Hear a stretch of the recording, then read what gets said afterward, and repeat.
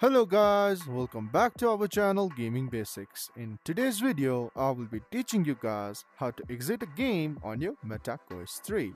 So at first, just check out this navigation bar pressing the Meta button on your controller and open your library page.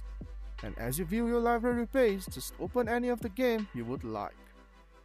For now, I'm opening this Epic Roller Coasters and as you open it, all you have to do is just wait until the game loads. And as it loads, just press the meta button on your controller. And as you press it, the screen pops up in front of you. And just go in the option quit right here. And just select this. As you select it, you can see I have exited the game.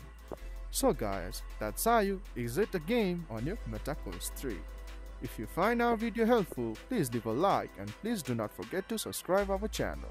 Also hit the bell icon to get updates with our latest videos. And drop a comment for reviews and more content like this. I will see you guys again in our next video. Thank you for watching.